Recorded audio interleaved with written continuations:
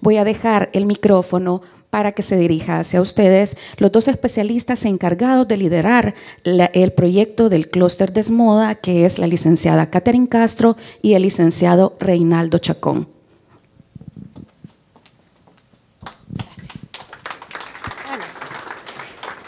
Bueno, buenos días a todos. Muchas gracias por acompañarnos en este día. Sabemos que es un día un poco complicado con temas de tráfico y otras cosas, pero estamos súper contentos de verlos acá. Para nosotros es un orgullo poder trabajar eh, con empresarios afuera de nuestro país, pero que están poniendo arriba el nombre de El Salvador a través de la producción de líneas especializadas, de productos nuevos, de tendencia, eh, y esto es un acercamiento a eso.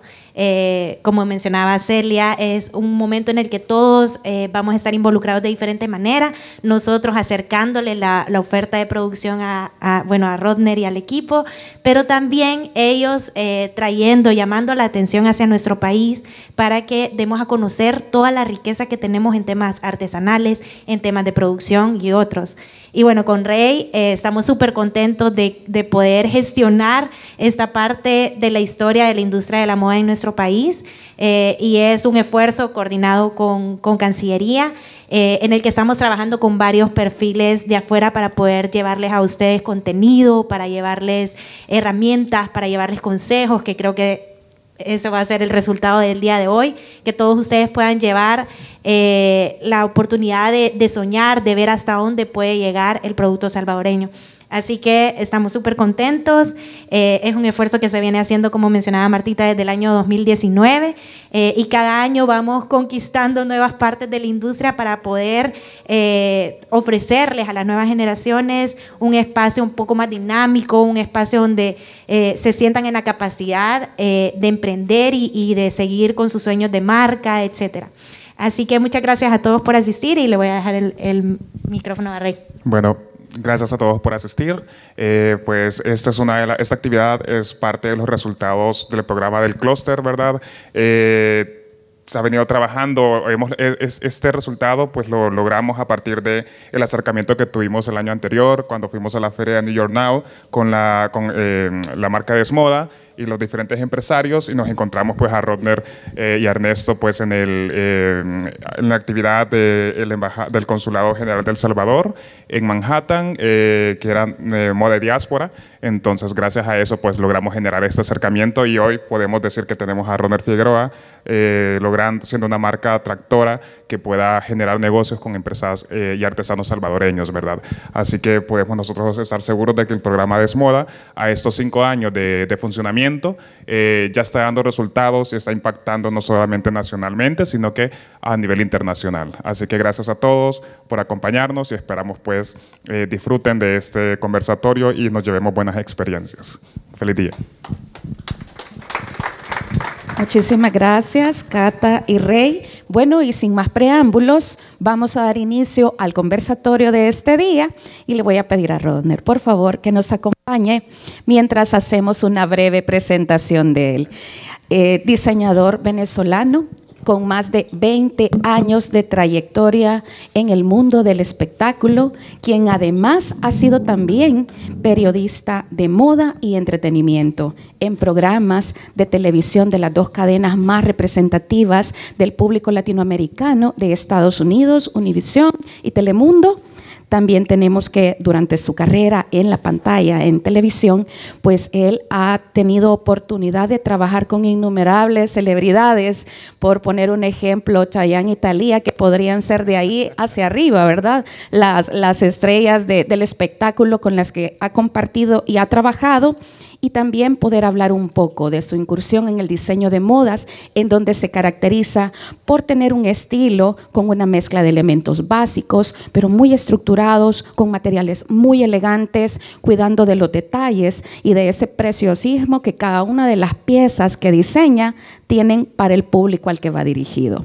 También podemos hablar de que ha incursionado, y ya vamos a hablar otro momentito de eso, de lo que hemos encontrado en los medios nacionales que le han dado cobertura a su estadía y a la producción que él ha tenido en tierra salvadoreña, que ha incursionado en otros medios, no solamente en la moda, ya vamos a hablar de una marca de café también para, para ver si eh, cómo estamos en, en la línea de, de negocios en otros rubros. Y también hablar de que él tiene otros proyectos personales al mismo tiempo a nivel mediático con el lanzamiento de un podcast, ¿verdad? Entonces, de esto y de muchas otras cosas más vamos a hablar con él en esta hora y explicarles, ¿verdad? Que vamos a tener un espacio de preguntas y respuestas al final y por ahí van a estar canalizando las preguntas que ustedes quieren hacerle a Rodner. Rodner, bienvenido. Muchísimas gracias a ti y muy buenos días para todos y bienvenidos. Y gracias por madrugar y estar aquí el día de hoy. Creo que eso es lo más importante, ¿no? Con el tráfico salvadoreño, que es una maravilla. Pero de verdad, gracias por tenerme aquí. Para mí es un, es un gran placer, porque yo me siento de alguna manera u otra, eh, un embajador salvadoreño, no oficial desde luego, pero conozco el país desde hace 11 años y verdaderamente he visto una transformación increíble eh, a nivel internacional de la imagen de El Salvador. Y cuando yo hablo de esto lo hago con, con, muchísimo respeto y con muchísima prudencia, pero si bien es cierto, en el exterior, en los Estados Unidos, donde yo radico, tengo 32 años viviendo en los Estados Unidos, la imagen que teníamos de El Salvador en un inicio, lo único que se hablaba de El Salvador era de, las maras. Y, y, era las maras, la violencia, y cuando yo conocí el país, como me imagino como cualquier turista en el primer viaje, venía un poco sugestionado con esa idea, ¿no? De encontrarme con un país peligroso, un país que, quizás era poco amable y, para mí fue todo lo contrario, descubrir un país donde, bueno, su, su, mayor riqueza es su gente, comenzando por ahí, porque es una gente muy amable, muy receptiva, calurosa, buena y para mí este descubrimiento del Salvador me convertí poco a poco como en un vocero no oficial de, del país y impulsando y, y, y, estimulando a la gente que viniera a conocer El Salvador. Y, me, y he tenido grata sorpresa de que muchas personas han venido a conocer El Salvador gracias a mí y, me lo agradecen porque creo que, es un país muy hermoso y tiene cosas muy bellas y he aprendido a quererlo llamarlo a través de, mi familia política. Que, que, bueno, que son muy salvadoreños y, y, y gracias a Dios me han inculcado un amor y un respeto hacia este país y por eso la inversión mía a la hora de crear una marca eh, fue aquí, en El Salvador, porque creo que es importante y siempre lo digo y lo recalco, nosotros tenemos que volcar nuestros ojos y nuestros intereses hacia nuestra región. Evidentemente, para cualquier marca, para abaratar costos, eh, es mucho más interesante hacerlo en, la China, pero yo siempre pensé, la China no le hace falta mi negocio, a Latinoamérica le hace falta mi negocio. Y entonces es una pequeña empresa, pero la experiencia ha sido muy favorable. Ok. Nos hemos dado cuenta porque en tus redes tú mismo lo manifiestas que has tenido como una inspiración. Prácticamente nuestro país se ha convertido en una musa para poder dar a conocer eh, como un primer paso el lanzamiento de colecciones y de marcas. Y antes de hablar de la colección, nada más vamos a comenzar preguntándote, ¿por qué nace el interés en Rodner Figueroa de comenzar a explorar formalmente desde hace unos años atrás, porque hemos leído que tienes una trayectoria larguísima como productor en televisión, en espectáculos, pero ¿dónde nace la idea de dedicarse al diseño de modas? Lo que sucede es que yo vengo de una familia extremadamente matriarcal. Eh, yo crecí rodeado de mujeres y las mujeres son amantes de la moda y eran mujeres muy, muy que, se, que, se, preocupaban por el tema de la moda. Entonces viene, viene muy arraigado a, a, a, mi ADN personal y cuando empecé a trabajar en televisión, yo tengo trabajando en televisión desde 1994, ustedes mismos saquen la cuenta, bueno, 29 años trabajando en los medios de comunicación, eh, me dediqué al espectáculo, pero también a la moda. Hacía periodismo de moda para el programa Primer Impacto y hacía las críticas de moda para El Gordo y la Flaca y hacía las alfombras rojas de los Latin Grammys, eh, en, fin, de todas las premiaciones eh, más importantes en los Estados Unidos de habla hispana. Yo era el, moderador de moda y me convertí en el referente de moda a nivel mediático más importante en los medios de habla hispana De hecho, para los que no lo sepan, yo en un momento dado de mi carrera, porque Raúl de Molina, quien amo y adoro, siempre me decía, pero ¿qué es lo que haces tú? Y yo le decía, bueno, yo soy fashionista. Y él me decía, ¿qué es eso de fashionista? Y entonces ese nombre de fashionista se convirtió en, en, en mi sobrenombre, porque yo de verdad siempre he tenido un interés muy genuino por la moda. Me gusta la moda.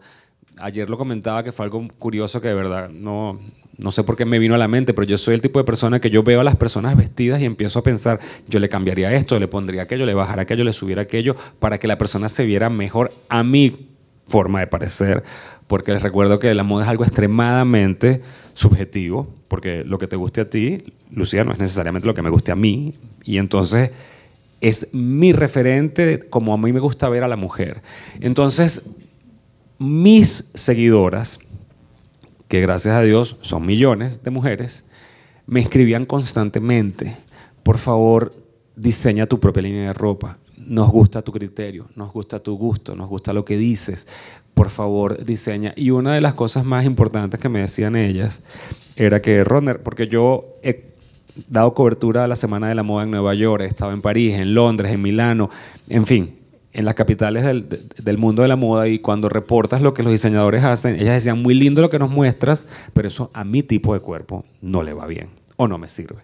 Entonces me pedían que por favor diseñara.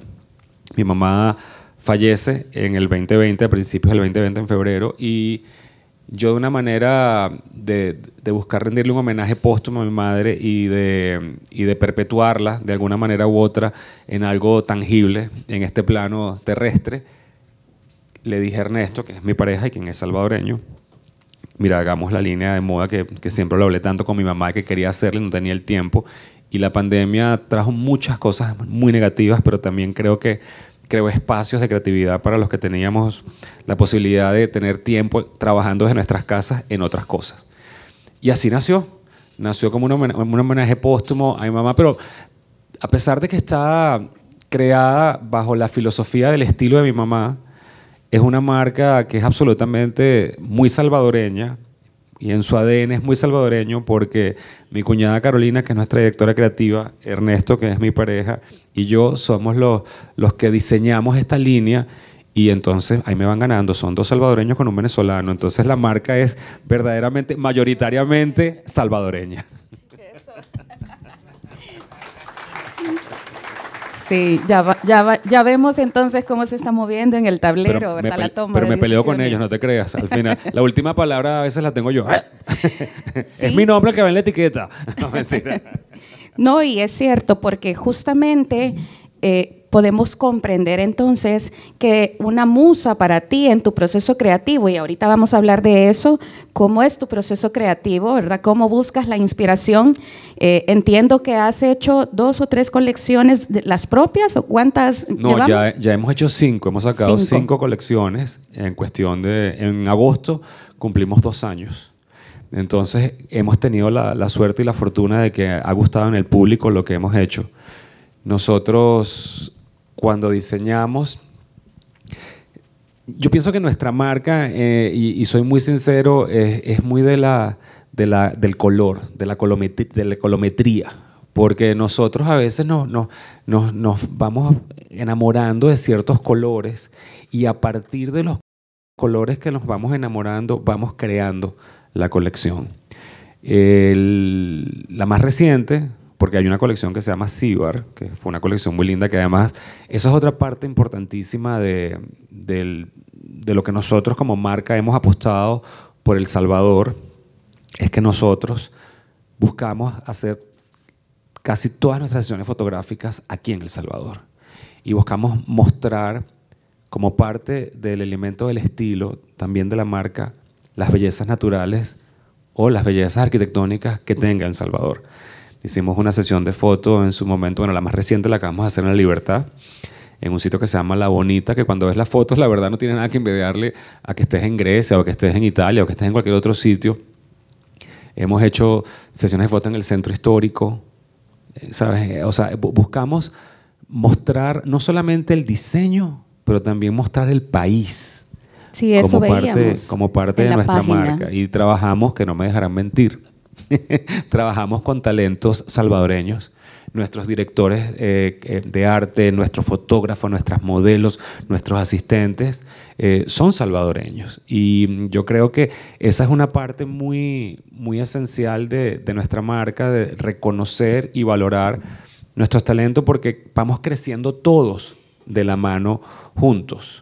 ¿Sabes? Y vamos aprendiendo unos de nosotros, porque hemos trabajado en conjunto, no me dejarás mentir, y es un, y es un proceso muy bonito porque los dejamos ser a ellos en, en, lo que hacen, en su trabajo, pero también les damos orientaciones de lo que a nosotros nos gusta como marca y creo que ellos se van más enriquecidos de lo que nosotros les aportamos y nosotros nos vamos satisfechos con el trabajo que, que hacemos y que vamos creciendo porque, por lo menos con Roberto Molino, que es nuestro fotógrafo, hemos ido trabajando campaña tras campaña tras campaña y entonces él ya conoce y sabe nuestra estética, lo que nos gusta, lo que no nos gusta y es un, es un proceso muy bonito. Claro, y quizás... Eh, tu ojo estructurado y muy delicado tiene esta capacidad de poder ver lo que está frente a nuestros ojos como salvadoreños y poder disfrutar de paisajes que para nosotros ya se volvieron parte de la estampa, pero vienes tú y les impregnas con un arreglo fotográfico, con una producción de una, de una colección eh, y le pones un sello tan único y que pareciera que es otro país, que pareciera que es otra parte de la historia del Salvador. Entonces tú estás contando prácticamente dos historias, porque en una fotografía de moda, y no me dejarán mentir para quienes hacen producción fotográfica en moda, es que uno cuenta la historia de lo que se diseña y todo, todo el back que está detrás, ¿verdad? Y tú has tenido la sensibilidad de buscar los escenarios que enaltecen el trabajo que tú haces en el diseño de cada una de las prendas. Entonces, sí creo que se ve bien plasmado esa, ese valor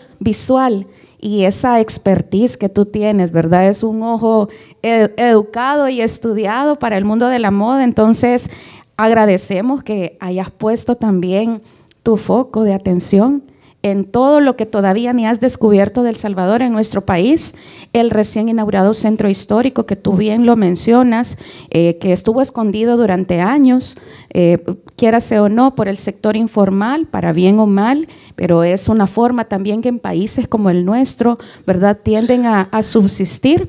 Ahorita se le está dando una oportunidad al centro histórico y a toda esa carga cultural que está inmersa en, nuestra, en nuestro país, en nuestros pueblos, nuestra cultura, y que vamos a esperar que Rodney Figueroa en alguna producción de la próxima colección, pues vaya también al centro histórico a, a descubrir las calles de, del kilómetro cero del centro de San Salvador.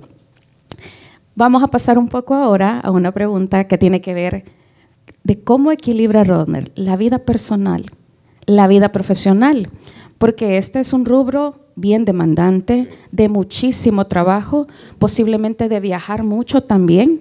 ¿Cómo hacer polo tierra? ¿En qué momento? ¿Cómo lo logra? ¿Cómo lo logra Rodner? Bueno, el problema es que el, el mundo de la moda es un, es un mundo que no para. Y nosotros acabamos de lanzar nuestra nueva colección que se llama Nayarit porque casualmente recibimos el año nuevo en el estado de Nayarit en México con unos colores maravillosos y de ahí surgió la inspiración de esta colección. Y recién habíamos lanzado esta colección, ya estamos trabajando en la próxima.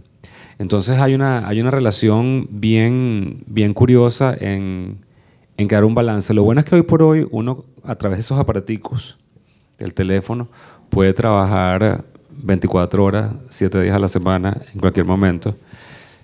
Y yo considero que uno tiene que crear un balance para, porque como nuestra marca es, pues, es una marca familiar, ¿no? En el sentido que Ernesto y yo somos socios en la marca, vivimos juntos, compartimos juntos, pero tienes que en un momento poner punto y aparte, porque puede ser muy, muy agobiante, porque mm, a veces como dicen que la confianza da asco, es así, a veces como son las 11 de la noche y de repente estamos hablando de trabajo.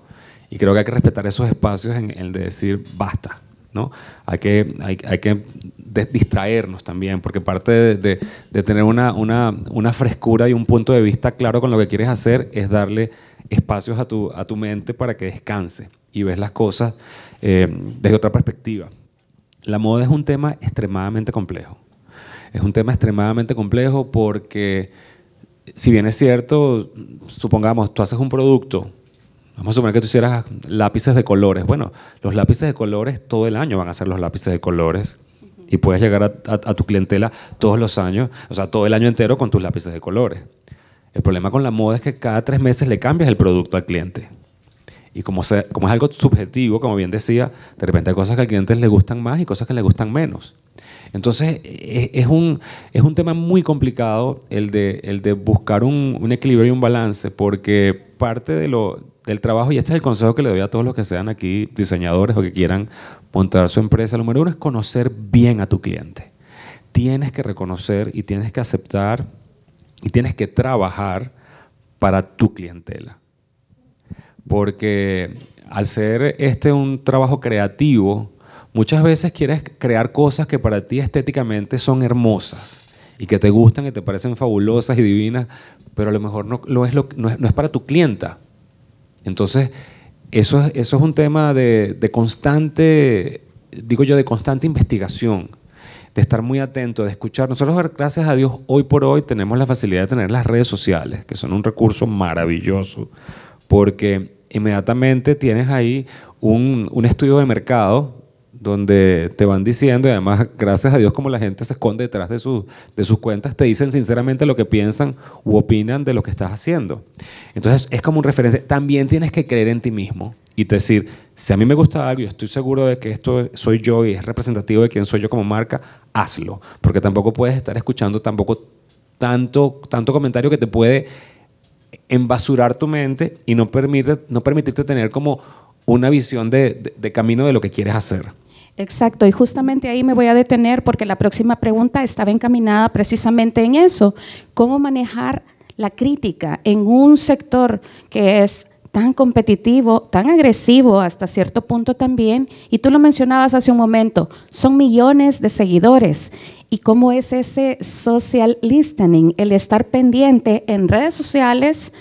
Eh, y ese equilibrio, vuelvo nuevamente a la palabra equilibrio, porque hacia adentro, hacia, hacia casa, hay una parte donde se equilibra, pero hacia afuera, con el consumo de las redes, y así como tú lo dices, no dejarte llenar de basura. ¿Cómo controlas eso? ¿Cómo se maneja la crítica y sobre todo porque tú eres realmente una figura muy prominente en el medio, no dejarse embasurar? ¿Cómo lo logras? Yo considero, y esta es mi experiencia muy personal, y, tú tienes que crear, primero lo que tienes que crear es, un cuero, un cuero muy grande hacia tu persona, y esto se lo digo a cualquier persona que, que trabaje en diseño, eh, de, que siempre vas a estar expuesto a las críticas. Yo, gracias a mi personalidad, es bastante antiparabólica, en el sentido de que yo soy de la persona que, que opina que, así como todos tenemos una cabeza, todos tenemos una opinión. Entonces tú tienes que saber leer entre líneas las críticas que te hacen.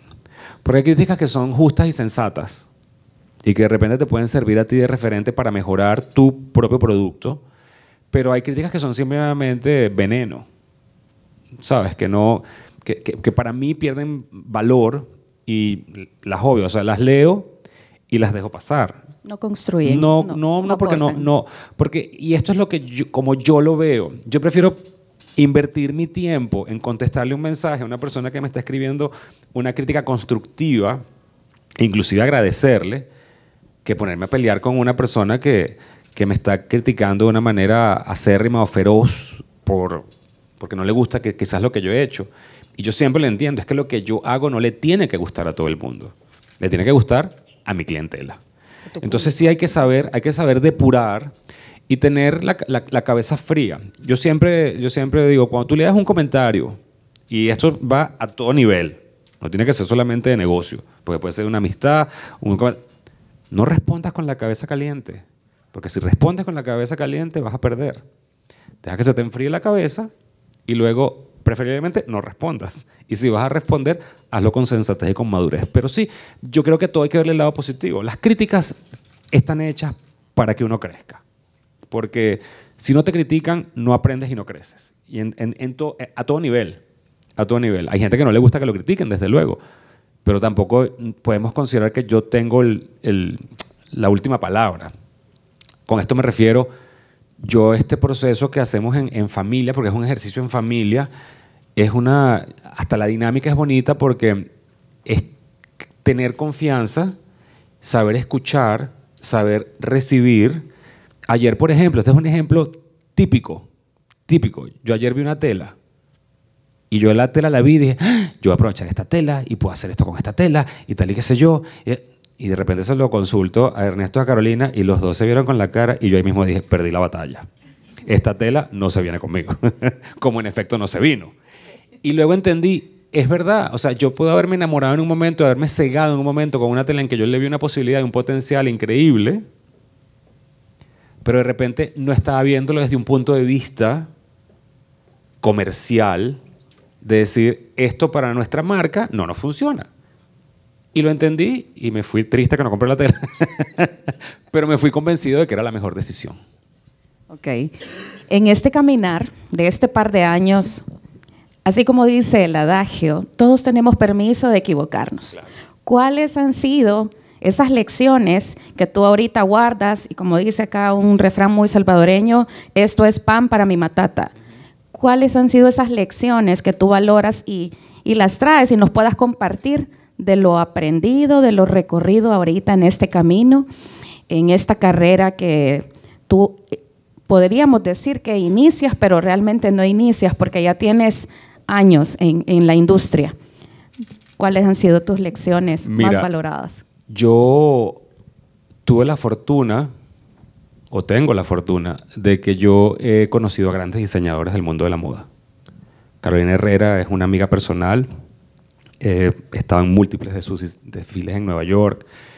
Eh, conocí a Oscar de la Renta, Ángel Sánchez, Narciso Rodríguez, o sea, todos los verdaderos talentos del diseño latinoamericano en los Estados Unidos, yo tuve la oportunidad de estar cerca, ver el trabajo, ver todo eso.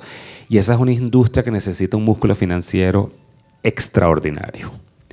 Y una de las cosas que, que yo entendí como marca, como marca pequeña, como microempresa, es que tú tienes que ir a tu propio paso, tú tienes que ir a tu propio ritmo, tú tienes que ir a tus propias limitaciones, tú tienes que ir hasta donde te arrope la cobija. Porque claro, la meta de todo diseñador es llegar a ese nivel de, reconocimiento, pues, de, producción, de todo. Pero es una, es una industria muy costosa. Es una industria muy costosa porque hacer un desfile de moda es costoso, hacer una sesión de fotos es costosa. Entonces, tú tienes que convertirte en una persona creativa, una persona resolutiva, una persona que trates de alcanzar tu meta dentro de tus recursos, pero sin tener que seguir ese patrón que está tan específicamente hecho como el calendario de la moda de las grandes firmas que tienen cierta, vamos a decir, ciertos ritmos que tienen que estar cumpliendo constantemente por cada temporada. Como, como yo lo decía en un momento, yo soy una marca pequeña. O sea, si yo me quiero dar el lujo de repente de decir, ¿saben qué? En esta temporada, en vez de salir en tres meses, salgo en cinco, lo puedo hacer. Y debes hacerlo. Y debes hacerlo. Una de las cosas que, que, que, yo he aprendido sobre la marcha es que hay cosas en las que tú vas a apostar porque te gusta a ti. Como les decía, esa es, esa, esa es, la columna vertebral de tu marca. Esta prenda va perfectamente alineada con quién soy yo, con mi filosofía del diseño, con todo. Pero de repente hay piezas, hay piezas que se te agotan de inmediato y tú dices, wow, qué, maravilla. Y hay piezas que tienen un comportamiento de venta mucho más lento. No te puedes apegar a eso. Y tienes que ver eso como un, aprendizaje de ser esta pieza que a mí me gustaba, no funcionó, no la puedo repetir.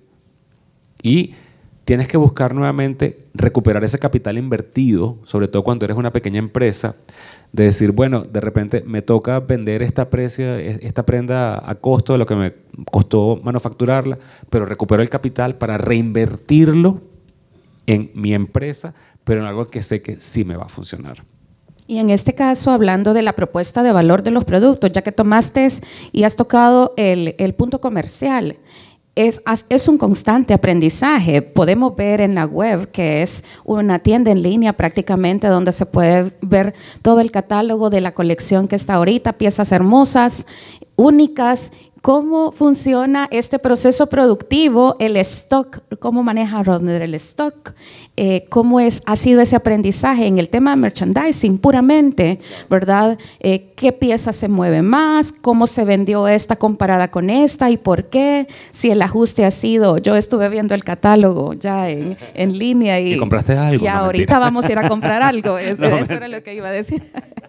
Pero ¿cómo, ¿cómo te sensibilizas a la dinámica de la venta en línea, las redes sociales?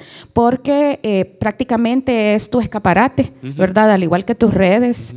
Eh, ¿Cómo la propuesta de valor, volvamos al producto y cómo se maneja? Yo, yo como lo veo es que, y esto es un consejo para todo el que sea pequeño empresario, tienen que sí o sí tener su página web y tienen que sí, que sí tener sus redes sociales en todas las plataformas. ¿Por qué? Porque esa es la manera de mercadear hoy por hoy. Em, mucha gente me pide, de hecho me piden, que en El Salvador, que porque no tengo una tienda en El Salvador, que porque no abro una tienda, que no abro una tienda. Una tienda genera muchísimo, muchísimos gastos y es muy costoso. Y hoy por hoy estamos en un mundo digital donde puedes eventualmente convertirte en una tienda física, pero tienes que comenzar desde tu tienda virtual. Nuevamente, como nosotros somos una, una, empresa pequeña y no tenemos las exigencias o formalidades de una corporación, nosotros podemos darnos el lujo, que es lo que hacemos nosotros, si en una colección creamos una línea en la que tenemos 19, 20 creaciones, pues en esa temporada salen 20. Pero si en otra de repente hicimos algo que nos gustó y, y eran 14, salen 14. Y si son 16, son 16. Y lo que nosotros tratamos de hacer es minimizar el impacto eh, de la producción en crear cantidades que sean limitadas. Yo prefiero hacer eh, de una prenda de vestir 50 buenas piezas y no hacer 100 por tener 100 en inventario. O sea, ese nivel de, de, producción nuestra es, es concientizada que nos, nos, sucede también, porque al ser pequeña empresa, tú tienes que ser muy creativo y tienes que saber manejar bien tus recursos. Y tratamos nosotros, tanto Ernesto, Carolina y yo, de buscar buen material, porque consideramos que la materia prima, que es la tela, tiene que ser la mejor que podamos conseguir y ya por ahí vas dando un, buen, una buena patada de inicio, ¿no? de, partido, digamos, en, el diseño. Son las características de tu producto, lo que te define y lo que te separa del resto, ¿verdad? Y sobre todo porque a muchos también nos gusta este concepto de la exclusividad. Y en la industria del, de, la moda rápida, ¿verdad? Donde tenemos a competidores gigantescos en el mundo. Que no se puede competir con ellos. Que no se puede competir con ellos, los pequeños, como todos los que estamos acá también. Eh, hacer frente y no abrumarse frente a, este, a este cambio vertiginoso que hay cada tres meses, pero a los dos meses ya tú puedes votar, tirar, volver a comprar en otro color, etcétera, desechar. Y eso es precisamente lo que nosotros hemos querido hacer como marca. Nosotros queremos que una pieza que tú compres nuestra de Rodner Figueroa te la pongas hoy, pero la puedes repetir dentro de 10 años y estés simplemente llena de estilo no pasada de moda. Es una prenda que tú la puedes tener en un fondo de armario como una pieza de resistencia tuya en tu armario que la puedes usar en cualquier ocasión, que se la puedes heredar a tu hija, que la puedes, no sé, usar a otra persona, que no, que, no perezca en, el tiempo por, por, porque es una prenda que está de moda. Nosotros, yo considero que nosotros hacemos estilo, creamos un estilo, creamos un concepto para la mujer. Rodner Figueroa es una mujer que tiene un estilo de vida. Y me parece, según lo que vi en, la, en, la, en, línea, el catálogo, que eso lo logras porque hay un purismo del estilo en las formas, en las líneas, que le da esa atemporalidad y como tú lo decís, no estás vendiendo una tendencia, sino que estilo. Entonces creo que es purismo de las formas y de las líneas. Creo que eso es como lo más encantador, aparte de, las telas y el color, o sea, porque la vivacidad de, todo el trabajo cromático que hay en estas colecciones me parece algo espectacular, algo hermoso, ¿verdad? Así es que, bueno, eso es parte, les queda de tarea, por si no han visto el catálogo en línea de Rodner, ahí está, y es un trabajo definitivamente lleno de detalles, muy, muy bien cuidado. Y ya, ya hablamos eh, del por qué la inspiración es este legado prácticamente y hacer este tributo a tu madre. Y quisiera saber y curiosar un poco más en tema de moda masculina, si hay intenciones en algún momento, si ahorita, bueno, ahorita estás, me imagino, explotando el nicho de mujeres que es pues bastante amplio, es donde tú te sientes cómodo, pero no sé si hay una, en el corto plazo, a nivel de negocio, ¿verdad? Porque esto es un tema también de, saber crecer en el eje de las Y. Horizontalmente, si vas a crear otras líneas. Mira, si yo, yo siempre digo que yo prefiero, eh, pues, gatear antes de, ¿sabes? de caminar y caminar antes de correr y correr antes de trotar, porque pienso que todo tienes que llevarlo un paso prudente. Me piden y me piden y me piden mucho que diseñe para hombres. Por favor, diseña para hombres, diseña para hombres, diseña para hombres. Pero hasta que yo no considere que, que, que debemos dar ese paso, no lo voy a hacer. De hecho, estuvimos platicando Ernesto, Carolina y yo que quizás vamos a empezar a hacer un par de prendas, no lanzar una línea completa. ¿Por qué? Porque, vuelvo y repito, al ser una empresa pequeña tienes que tomar tus riesgos de manera calculada. Eh, entonces yo prefiero probar y hacer quizás un pantalón y una camisa y ver cuál es el comportamiento de la clientela y si la respuesta es buena, pues empezar a crecer de ahí en esa base porque a veces el error que, cometemos como diseñadores es querer acaparar todos los rubros de un solo golpe y, pues no te das abasto. Uno de los intereses nuestros, porque como marca y como te digo, como siento que nosotros somos un estilo de vida, es querer entrar en la parte de decoración, en la parte de casa, inclusive, que me lo han pedido muchísimo, en la parte del cuidado de la piel porque las mujeres me ven y me dicen qué linda piel tienes, qué haces, qué entonces yo le digo, bueno, mi régimen, me dice, pero saca tu línea de cremas. Entonces, yo creo que todo se puede hacer, pero en su sano y debido momento, porque es un negocio, es un negocio muy rudo el de la moda, es un negocio feroz, es un negocio que de verdad tienes que, que tener pasos muy concretos y muy sólidos para no dar un paso en falso. Entonces sí, sí, sí, sí, la voy a hacer la línea de hombres, pero creo que vamos a comenzar piano, piano. Despacio. Despacio que llevo prisa, dice también él. Bueno, y en este, en este contexto, entonces yo me imagino que tus colecciones, así como tú lo dices, también por eso son bien estructuradas, muy bien pensadas y realizadas, y te estás tomando estos tiempos que aunque no respondan al calendario de la moda posiblemente como a muchos acá de los empresarios les sucede, sí responden a las necesidades del público al que tú te debes y a las necesidades propias, pues porque hay, un hay una autosatisfacción, me imagino, de querer tener un producto que reúna todos los estándares y así como Rodner lo ve en su cabeza al estar diseñando.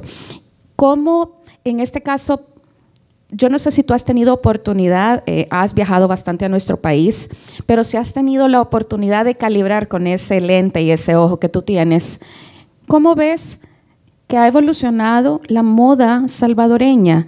Diseñadores salvadoreños que sí se han podido posicionar eh, fuera del país, que así como tú lo dices, una industria bien exigente, bien feroz, pero ¿qué concepto tienes tú de la moda del salvadoreño, como cualquier país de Centroamérica, ¿verdad? Porque todos prácticamente compartimos culturalmente mucho, eh, eh, de nuestras técnicas incluso también se comparten mucho. ¿Cómo tú calibras la moda del salvadoreño?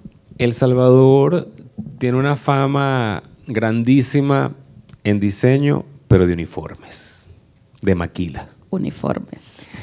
Y eso, para mí, fue algo muy, muy curioso porque, como bien te decía, la pandemia fue fatal y patética para muchos de nosotros y nuestras familias, pero creó con ese lockdown que tuvimos, con ese encierro que tuvimos, con esa paralización comercial que tuvimos, creó estos vacíos comerciales donde los que tuvimos la suerte, entre ellos yo, de empezar un emprendimiento durante la pandemia, tuve la posibilidad de trabajar con maquilas acá que estaban cerradas, que no tenían trabajo porque simplemente no había trabajo. Y al yo presentarles la posibilidad de crear prendas para mí, estas maquilas eh, lo hicieron como una oportunidad de negocios para ellos también, porque estaban paralizados y mis producciones eran pequeñas. Y descubrí que, porque el nivel, lo, que, lo, que, lo interesante acá es que el nivel de ejecución de la manufacturación de, y la confección de uniformes, como hay tanta competencia, es excelente. Y cuando traduje la parte de, de, vamos a decir, la parte de lo que es la operación de la manufacturación del uniforme y lo traduje al diseño de modas, las técnicas estaban ahí para producir un producto que fuera de una calidad extraordinaria. Entonces entendí que en El Salvador lo que hace falta es buscar, número uno, la capacitación para que se haga moda, diseño de moda, y crear las oportunidades, porque el problema es que no hay las oportunidades, tiene que ser muy complicado, porque lo que yo, y, lo entiendo perfectamente bien, porque no soy, no soy inocente en ese aspecto, yo no puedo competir a nivel de precios ni con Zara, ni con H&M, ni con Century 21, que hacen todo en China con tela de poliéster, en unas máquinas enormes que les sale a centavos y por eso los venden a esos precios tan, tan, tan, tan, tan apetecibles. Pero yo tengo que tener la convicción de que, de que mi producto está hecho con buenas telas, con buena hechura, con buena manufacturación, un producto de calidad que merece el precio de venta. Porque si no, si no, al fin y al cabo esto es un negocio. Esto no lo estamos haciendo por amor al arte, lo estamos haciendo porque queremos poder generar ingresos y vivir de estos emprendimientos.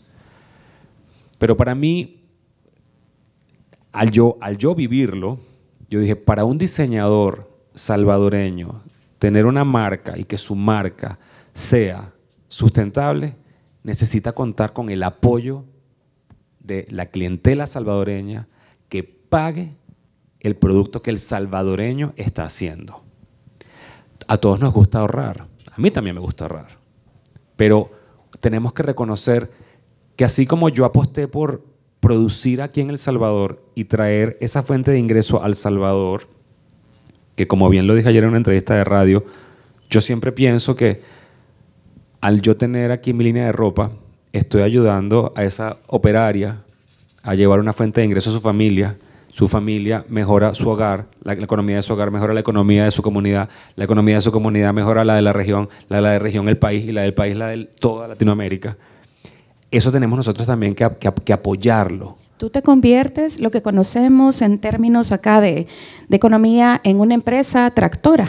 ¿verdad? Que tú jalas como un tractor a otras que están detrás tuyo y no es solamente la, la persona que confecciona, sino también si tú tienes en tu, en tu encadenamiento, en tu producción, otras manos que tienen que ver con accesorios o alguna otra cosa que vaya implícito en el diseño de tu prenda. Entonces, Rodner se convierte en una empresa tractora. Y así es como se conoce también en, el, en este mundo de las, de, las, de las pequeñas, medianas y grandes empresas. Y te cuento una anécdota, perdón que te interrumpa, te cuento una anécdota muy breve porque esto pasó genuinamente durante la pandemia. Estaba este taller con el que hasta la fecha tenemos dos años trabajando, que estaba cerrado. No tenían trabajo. Y nosotros les llevamos nuestra marca de ropa y comenzaron a trabajar con nosotros y ella ha ido creciendo de la mano nuestra, así como nosotros como marca hemos ido creciendo y en vez de emplear en un momento dado a cinco operarios, después tocó emplear a diez y después a veinte. O sea, vamos creciendo todos juntos. Pero la cuestión, la cuestión complicada aquí es que el cliente entienda que el valor de esa prenda hecha a mano en El Salvador puede ser tan valiosa como una prenda que sea hecha en París, en Milán, en Londres, porque al fin y al cabo el proceso creativo y de producción es el mismo. E, exactamente, porque tú aquí has tenido, por ejemplo, la gracia, digámoslo así, o el tino, por el conocimiento que tú tienes de identificar a, una la manufactura y darle este valor a la manufactura salvadoreña, que es por lo que al final el salvadoreño se conoce y se reconoce en todas partes del mundo, por su calidad de trabajo, por, por su trabajo en sí mismo. Esa es una de las características de, de las personas de nuestro pueblo, específicamente el salvadoreño, y por eso somos reconocidos, muy apreciados, y qué bueno que tú encontraste la oportunidad de darle a un grupo de salvadoreños y de poder impactar socialmente, económicamente, técnica y profesionalmente hablando también a un grupo que se va haciendo cada vez más grande, una onda expansiva. Y qué bueno, porque todos acá sabemos de lo difícil que puede ser iniciar iniciaste en el periodo más difícil que nuestra generación posiblemente va, va a ser testigos, que es una pandemia, pero ¿qué consejo tú podrías darle a los empresarios que están acá? Que, que quieren y que tienen este anhelo y este deseo de ver crecer sus marcas y en algún momento salir fuera de nuestras fronteras y exportar. ¿Cuáles serían esos consejos, así como tú vas y lo dices piano, piano, ¿verdad? Despacio, porque para todo hay tiempo, con esos riesgos calculados, que el término está muy bien aplicado, así como tú lo has explicado. ¿Qué consejo le podrías dar a nuestros empresarios? Bueno, yo lo primero que les digo, y es zapatero a su zapato. ¿Qué, con esto qué quiero decir? ¿Cuál es el tema primordial del diseño. El diseño es un trabajo creativo. La creatividad es maravillosa, es fantástico, el color, el diseño, el movimiento, los volúmenes, esto y lo otro. Pero eso puede estar absolutamente divorciado de la parte de lo que es el negocio. Entonces, con esto quiero decir, zapatero a su zapato, tienes que tener de aliado a alguien que sepa de negocios. Porque necesitas a alguien que te diga, esto sí lo puedes hacer, esto no lo puedes hacer, o esto no lo debes hacer, o te sugiero que hagas esto.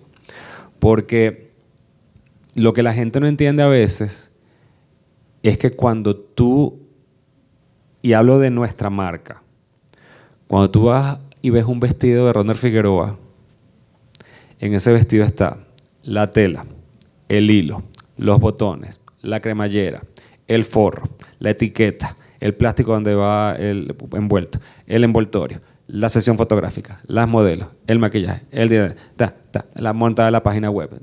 Cuando empiezas a ver todos, todo eso, todo eso te suma al valor de la prenda. Entonces es un negocio complejo que requiere organización financiera para que no te endeudes y para que no como les digo, te arropes hasta donde te dé la cobija. Para no colapsar también en el, en el, camino. y, yo insisto tanto que yo siento que mi madre estuvo, fue como desde el cielo, eh, fue cómplice de todo esto porque, nuevamente, durante la pandemia, que mucha gente estaba cesante de sus trabajos, nosotros tuvimos la fortuna de conseguir a una persona experta en la materia, que fue la que nos montó la operación de nuestra línea de ropa y que nos dijo, tienen que hacer esto, tienen que hacer lo otro, tienen que hacer... Y yo no sabía, yo soy muy creativo y tengo muy buen gusto, para mi gusto, tengo muy buen gusto, Ernesto también, Carolina, un gusto impecable. Pero de negocio de la moda no sabíamos nada, más que ir a comprar una tienda, ¿sabes? Para consumo propio. Pero es un, es un animal monstruoso al que te enfrentas, que si no lo conoces fácilmente, te puedes ir pero a la bancarrota. Entonces necesitas tener primero una persona que digo, en ese tipo de cosas tú no puedes escatimar. ¿Sabes? Porque de repente, bueno, te, enamoraste de una tela que vale 15 dólares la yarda. Bueno, bueno déjame negociar aquí y me compro una de 8, que no es la que más me gusta, pero esta me gusta. ¿Me explico? Pero para ese tipo de inversión de una persona capacitada, de una persona que va a ser al fin y al cabo la columna vertebral de tu negocio, tienes que buscarte una persona que sepa hacer lo que tú no sabes. Eso para mí es primordial. Y luego, una de las cosas que, para mí, y, fíjate que yo no lo hago con, la, agresividad que debería hacerlo a nivel de, de mercadeo, creo que hoy por hoy contamos con la fortuna de tener personas en las redes sociales que sí son influencers, son personas que las siguen porque, por lo menos en mi negocio de la moda, son personas que gustan del vestir, se visten bien, son creativas con lo que hacen. Tienes que buscar aliados. Tienes que buscar aliados que te ayuden a, correr la voz. Yo sé y lo reconozco y tuve la fortuna de que yo soy una figura de televisión en los Estados Unidos, que acumulé una base de, seguidores maravillosos que me aman y me quieren y, y, me siguen y me apoyan. Y ya yo tenía, yo tenía, vamos a decir, el mercado y yo simplemente les presenté el producto. Pero reconozco que debe ser extremadamente complicado para una marca comenzar desde cero y darse a conocer. Entonces hay que ser muy creativos, pierdan la pena. Porque hoy por hoy, a través de ese aparatico, te metes en las redes, mandas un mensaje directo, la gente te comunica, te responde. Tienes que tener ese nivel de, de acercamiento con personas que tú sientas que te pueden ayudar a ti como marca a crecer. Claro, porque este es el camino de la construcción de marca, ¿verdad? Tú has enumerado todos estos elementos que están implícitos cuando yo quiero dejar esa buena imagen en mi público, ¿verdad? Porque la imagen es un intangible que no me pertenece a mí, que no le pertenece a Rodner, sino que es la imagen que queda en el ideario mental del público. Y creo que también las marcas hoy por hoy buscan una identificación emocional y, yo, yo creo que tú, tienes que ser la voz de tu marca. Ahorita yo me voy a reunir con, todos los expositores que están aquí y tuvimos la oportunidad brevemente de hablar con una expositora y, cuando tú conoces su historia y te cuenta de, primera voz cómo nace su producto, cómo lo creó, cómo, cómo, lo llevó, la, la, anécdota de cómo una persona de fuera fue la que le dio la técnica y aprendió, te empiezas a enamorar del producto. Entonces creo que hay que, hay que enamorar al producto y contar la historia. Todos tienen una historia que contar. Fíjate, por ejemplo, les voy a hacer un ejemplo clarísimo. Yo soy muy de, de, redes, a mí me gusta publicar y esto y lo otro, y yo comunico en las redes y estoy encima y soy, o sea, estoy ahí, pacata, pacata, pacata, pacata. Aquí mis socios que son divinos los dos, ninguno ha levantado el teléfono para grabarme, por ejemplo. Y entonces yo sé que se va a acabar esta exposición. Ah, Carolina sí, pero Ernesto cero. y de repente yo me levanto y digo, me grabaron algo para subir a las redes, porque no es lo suyo. Entonces por eso te digo, zapatero a su zapato. ¿Sabes? Búsquense. Ajá, mira, está grabando, está... está grabando Ernesto. Pues, ¿Qué les digo con esto? Como marca, búsquense una persona, quizás adolescente, no sé, 18, 19 años, que domine el tema del aparatico, como digo yo. El lenguaje digital. El lenguaje digital, que a lo mejor tú como creadora de una marca no lo sabes hacer o no te interesa o te fastidia, pero porque esa comunicación a través de las visualizaciones en redes es importantísima. ¿Cuántas veces ustedes no están en su teléfono y les sale una cosa que ustedes ni siguen? Ah, pero les llama la atención y entran y la ven y curiosean y leen. Estar en la presencia digital es sumamente importante. Y en este caso también es importante dejar el mensaje, ¿verdad? Que no todos vamos a hacer todo siempre. Tú estás diseñando y también te vuelves el influencer o el vocero de tu producto, pero no necesariamente también tienes que comercializarlo, tienes que promoverlo en redes, hacer el marketing, hacer la producción. Es decir, tú puedes estar implícito en, toda, en todo el proceso de construcción, diseño y producción de tu producto pero no el hacedor en cada una de las etapas. Y ya para finalizar, porque yo sé que también tú estás muy interesado en, ver todo lo que tenemos ahí atrás para, para mostrarte. Hablemos de los nuevos proyectos. Por ahí les dije y les di el preámbulo, ¿verdad? Una marca de café. Hay un podcast. Con el podcast yo me imagino que también abona a la construcción de marca porque prácticamente, o bueno, no sé cuál es la temática, coméntanos un poco de este proyecto bueno, y si está en, proceso. A mí lo que me pasó muy bonito, por eso hablo tanto de la importancia de las redes, es que yo era, yo era absolutamente neófito de, la caficultura, no sabía nada de, de, cómo se, cosecha, cómo, o sea, todo lo que es todo lo que involucra llevarse una taza de café a la boca, yo lo desconocía. A mí me parecía que eh, tomar café era casi casi como hacer un, quick. ¿Sabes? Echabas dos café instantáneo. No.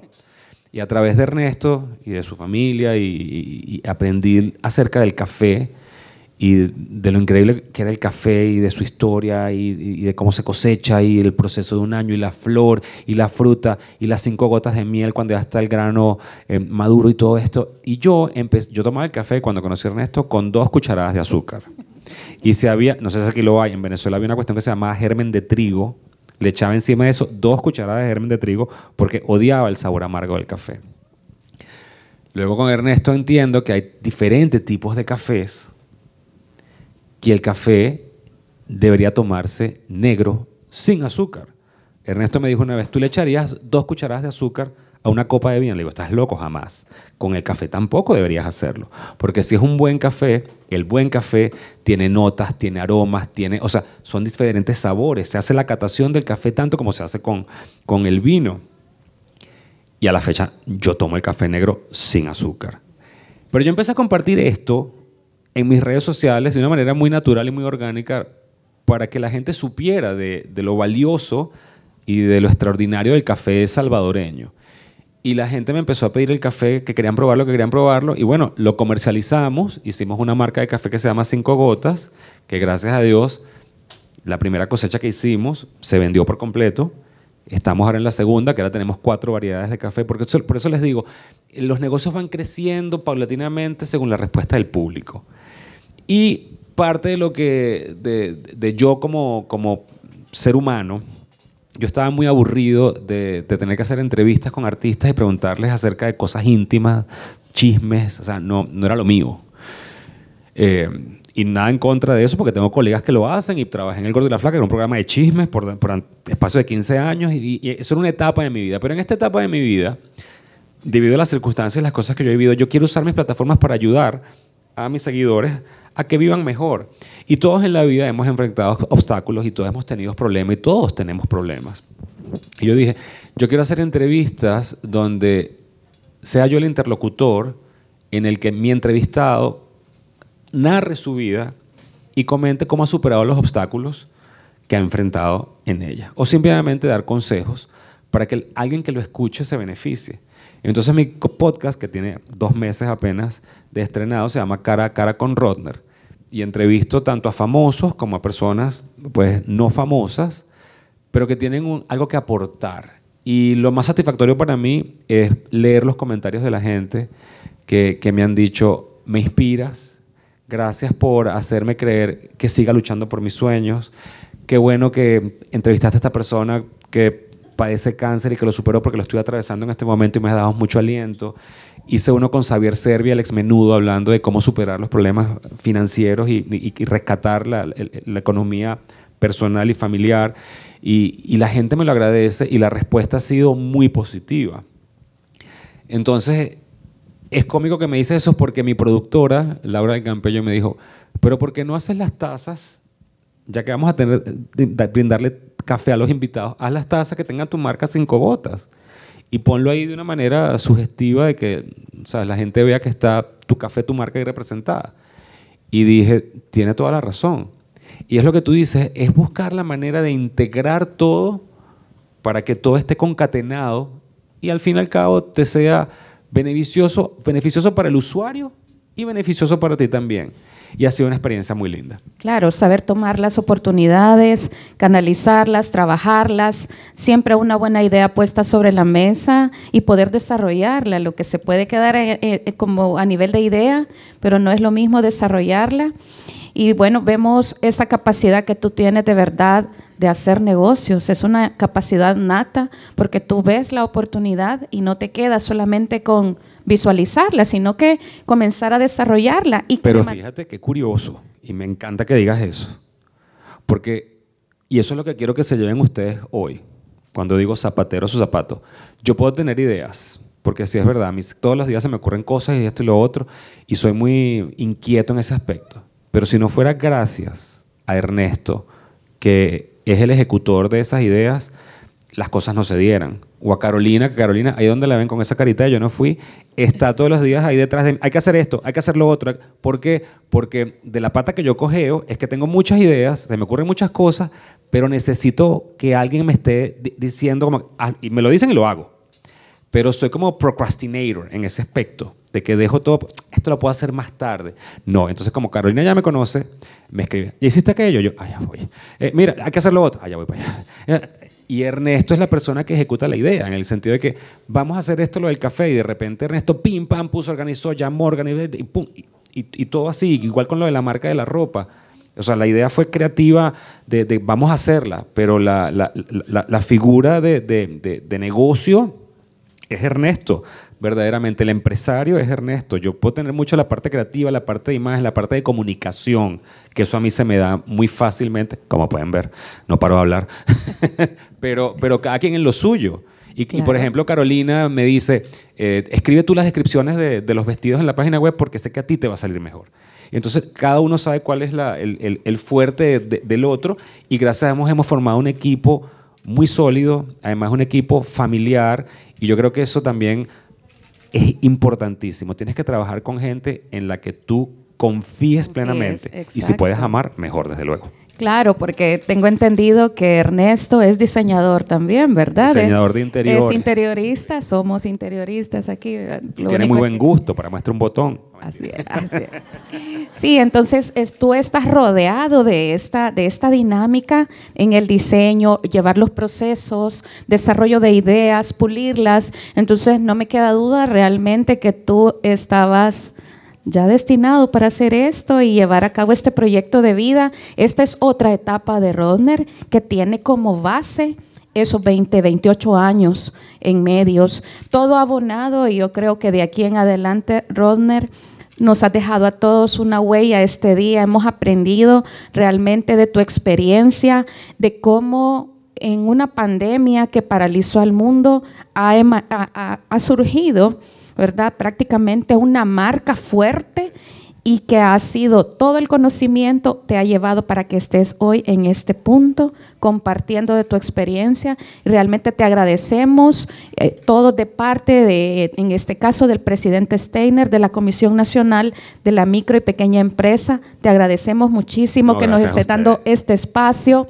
Lo mismo a Carolina y a Ernesto, que también son parte de tu equipo de trabajo que estén compartiendo su experiencia y tener esta calidad de, verdad de conversación contigo. A mí me gustaría, eh, si hay un pensamiento que les puedo dejar, que creo yo que es algo que para mí es ley de vida, no vean problemas, porque a todos se nos van a presentar problemas. Vean las oportunidades que pueden sacar de ese problema. Eh, a mí en, en, dos ocasiones, porque este negocio es así en la televisión, me han dejado fuera de la televisión. Y en las dos ocasiones yo he dicho, ok, si esto para otra persona puede ser un problema, me dejaron sin trabajo. Y yo dije, ok, ¿para qué se me está presentando esta oportunidad? ¿Qué voy a hacer con esto que me está pasando ahora para transformarlo en algo positivo para mí? Entonces, no vean problemas, vean oportunidades, porque yo siempre digo que todo en la vida depende de cómo tú lo quieras ver. Si lo quieres ver por el lado negativo, o si lo quieres ver por el lado positivo. Cuando a mí me sacaron de la televisión, yo dije, bueno, entonces déjame ver qué otra cosa hago. Y entonces hay que buscar esas oportunidades. Por eso les digo, yo sé que somos un grupo aquí nutrido, porque están casi todas las sillas llenas, que, que los invito a que vayan a, mi canal de YouTube, que se llama Ronald Figueroa, y busquen esos podcasts. Porque a veces, eh, escuchando las anécdotas y las historias y los testimonios de otras personas, nos pueden servir a nosotros de herramienta y nos pueden ayudar a redireccionar nuestras propias vidas, porque, porque creo que, que, a veces tenemos soluciones enfrente y nos dejamos abrumar tanto por los problemas que no vemos las posibilidades que tenemos en la punta de la Nos paralizamos, ¿verdad?, ante, ante, el, ante el problema. Les agradezco muchísimo a todos y abro el espacio por si la audiencia tiene preguntas en este momento que hacerle a Rodner para que levanten la mano, les vamos a hacer llegar el micrófono y si no hay preguntas, entonces damos inicio a, bueno, proseguimos con el recorrido eh, por las empresas. ¿Abro micrófono?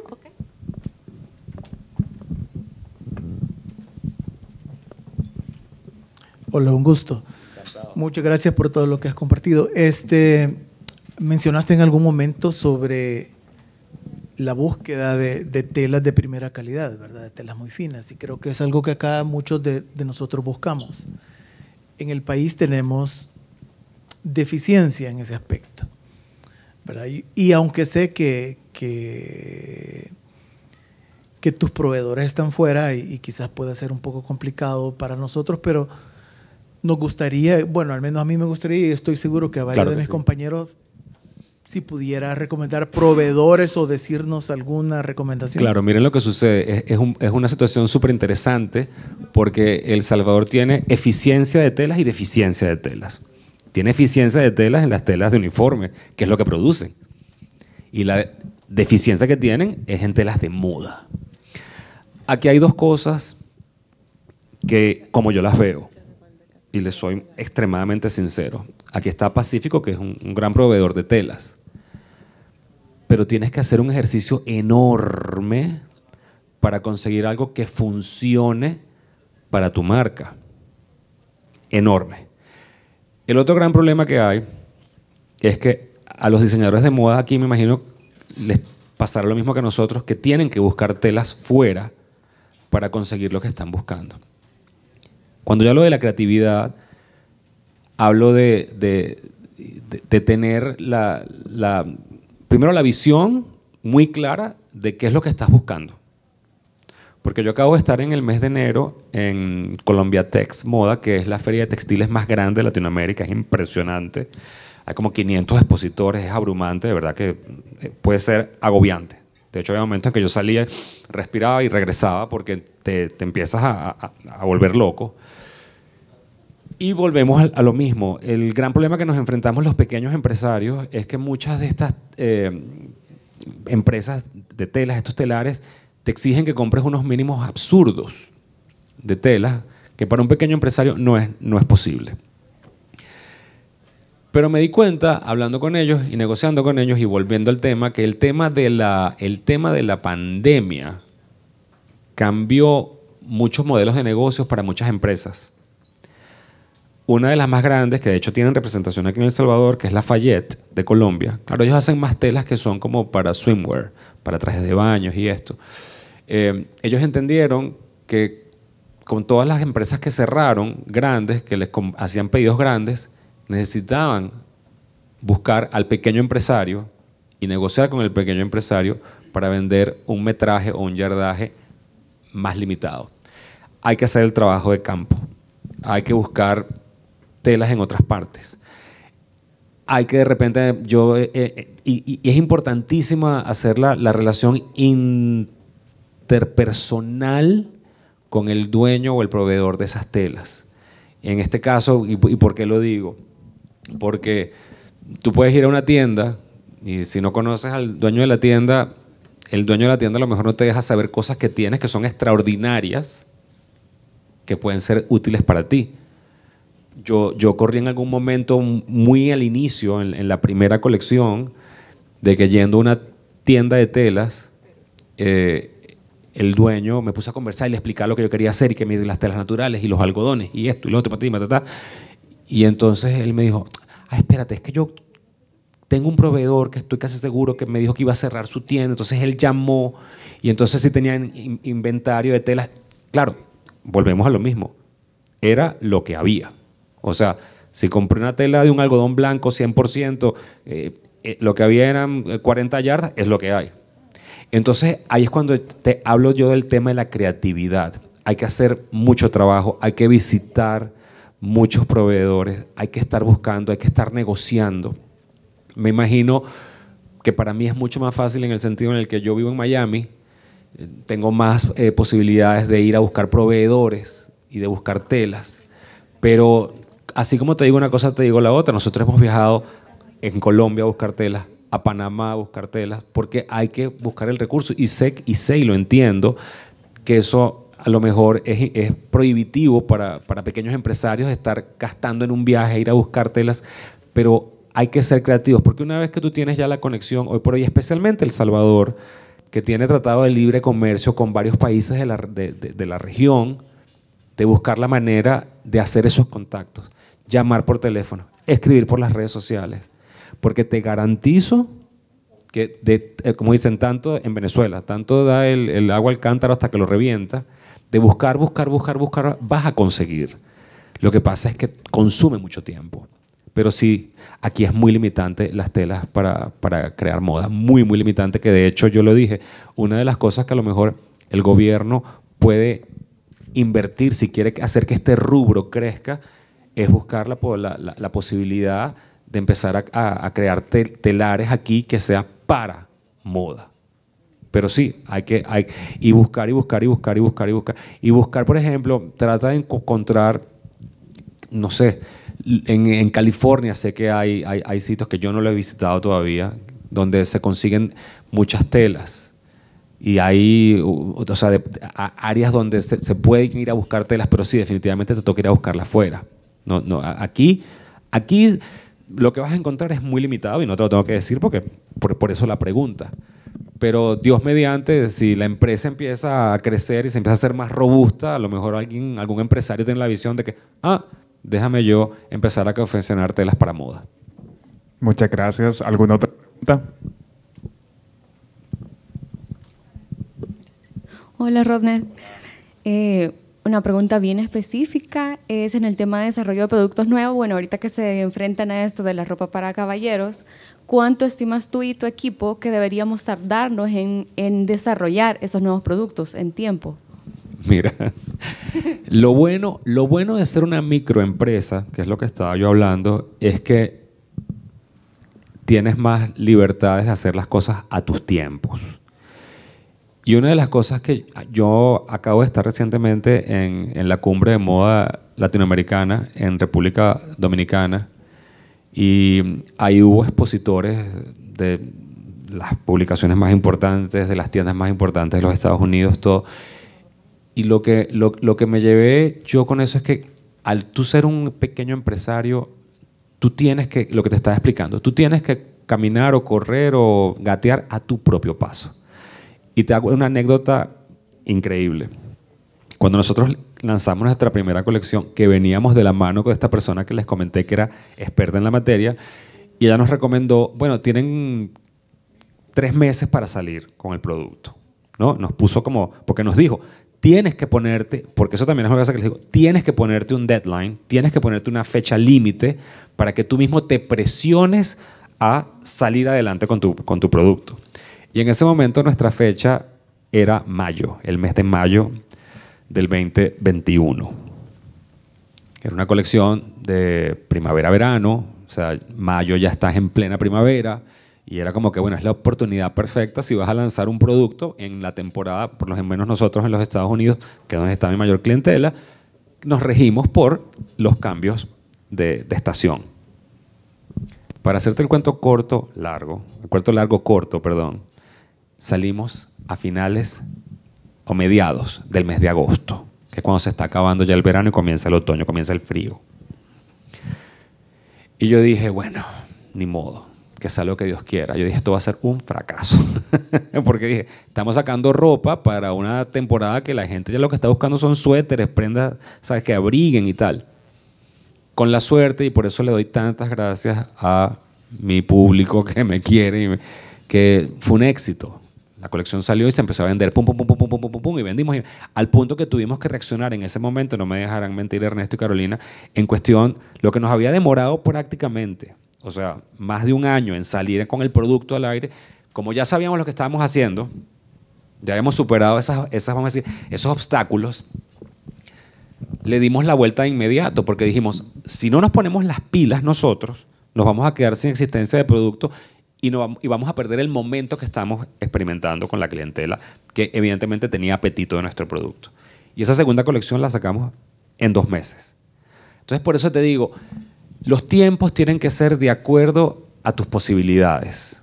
Porque qué fue lo que pasó y porque tuvimos nosotros la posibilidad de tener ese turnaround, esa vuelta en, en, U tan, tan, rápida.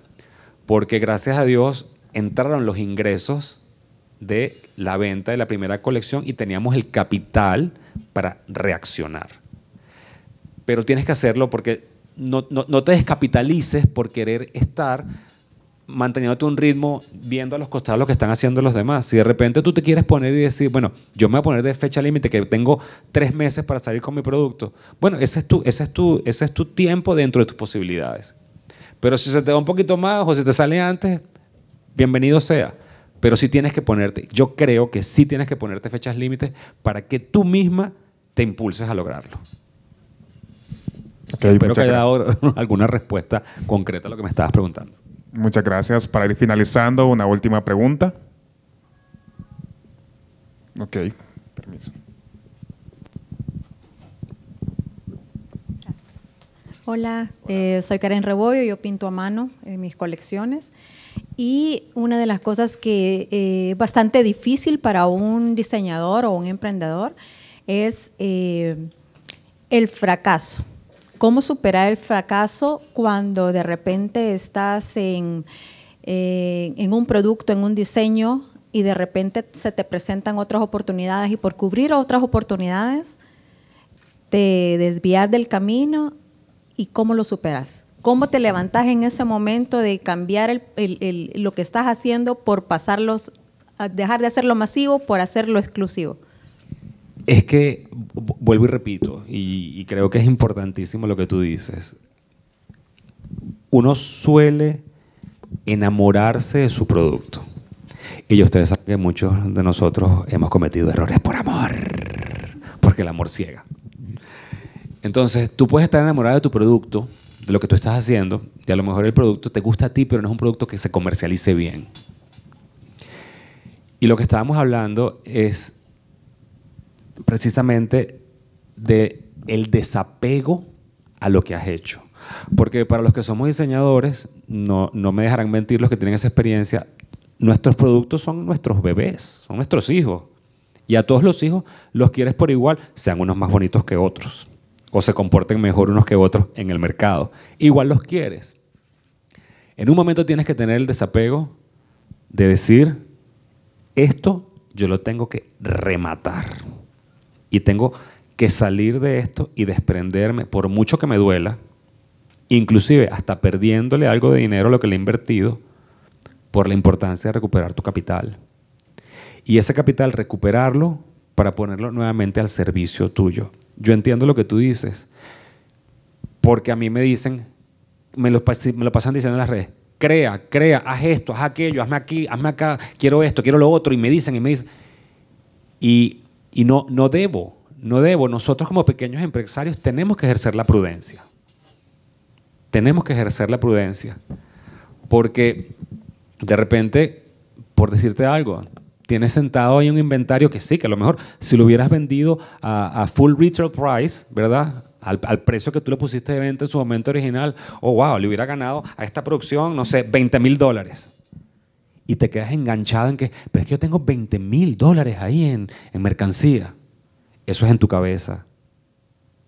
Porque la mercancía a tu público no le apeteció. Y tienes que entender que eso es una experiencia, es un aprendizaje. Y decir, bueno, de esto déjame recuperar algo, porque somos una pequeña empresa. ¿Sabes? Si fuéramos una empresa gigantesca, pues bueno, como hacen ellos, pues que la botan y crean esas contaminaciones horribles, que hay montañas de, de ropa tirada en distintas partes del mundo, porque bueno, no les interesa, pero para nosotros es un golpe a nuestro bolsillo enorme pero sí tienes que buscar la posibilidad hasta inclusive de reinterpretarlo. Si es un producto rescatable, hacer algo con ese producto, pero ser creativo y no engancharte en que ah, esto me salió mal, qué, cosa. No, supéralo, supéralo. Ya, no me fue bien con esto. Así es la moda, es subjetivo. Es subjetivo. Y una cosa que, por ejemplo, en esta colección yo la estoy haciendo, que me lo habían pedido muchísimo mis clientas, es repetir un modelo que fue un bestseller de una colección anterior. Lo estamos repitiendo no en la misma tela, porque como les digo, el tema de las telas es complicadísimo. Hay telas que se consiguen, ya no las consigues más, no se consiguieron. Pero bueno, conseguí otras telas y estoy repitiendo el modelo con la esperanza de que se vuelva a vender también como se vendió en su, en su momento original hace un año y medio atrás. Entonces, y es seguir apostando, es seguir apostando. No, no, no. Si te detienes, fracasas. Y ser prudente con tu finanzas, porque es lo único que yo he aprendido. Hay momentos en que tienes bonanzas económicas y hay momentos en que de repente tú ves que aquella cuenta empieza gastos, gastos, gastos, gastos, gastos, gastos, y va bajando y va bajando y va bajando. Y, dices, y te toca sacar de tu propio bolsillo para inyectarle combustible a tu negocio. Pero tienes que tener confianza en ti mismo de que te va a ir bien. Porque si te rindes, también pierdes. Bueno, muchísimas gracias, Rodner, por esta conversación cálida que hemos tenido esta mañana. Agradecemos nuevamente tu tiempo